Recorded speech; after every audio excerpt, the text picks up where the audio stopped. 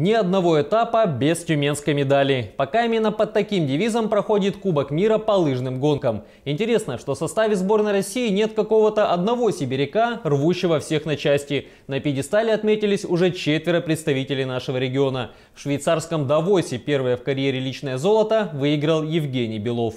Он один из тех спортсменов, за кого хочется порадоваться особенно. Сейчас Белову 28 лет. И последние два года, в период рассвета, когда молодость переходит в зрелость и накладывается на опыт, Евгению буквально сорвали. Его за компанию включили в список подозреваемых по докладу Макларена и отстранили от стартов. При этом тюменец не сдался, держал форму и в этот сезон ворвался с огромным желанием. В Давосе в разделке на 15 километров Белов начал спокойно и на первых отсечках число лидеров не входил, но резко добавил в концовке. Уже готовившийся отпраздновать победу, француз Марис Манифика был вынужден остаться вторым. А еще один тюменец Денис Спецов едва не увел бронзу у Мартина Сундбю из Норвегии. Не хватило буквально пары-тройки секунд. Когда есть конкуренция, тогда и рождается результат. Будем надеяться на то, что он будет только расти. Тем более все ребята и девчата молодые, и все у них впереди. Самое главное, чтобы они Э, не было звездной болезни, а все остальное у них получится. В этой гонке состоялось возвращение титулованного югорчанина Сергея Устюгова, пропустившего старт сезона из-за травмы пальца руки.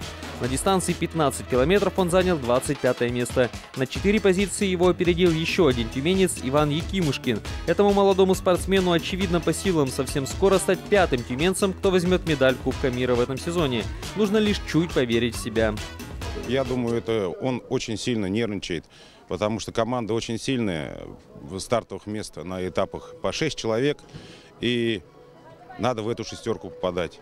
И вот эти ожидания, что мало ли не попадешь, кого-нибудь другого поставит, я думаю, вот это решающую роль играет э, в его ну, некоторых неудачах.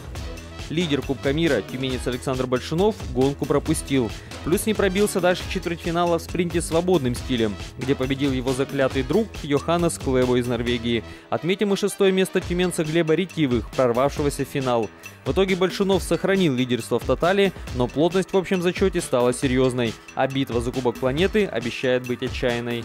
В этом заключается спорт. Еще пока неизвестно, или Клеба, или Большунов. Сейчас Устюгов выйдет после травмы. То есть есть ребята, которые могут бороться именно за тотал. И это радует. У нас э, на протяжении многих лет, вот Легков только у нас последний раз боролся за общий тотал, а сейчас это э, есть эта возможность.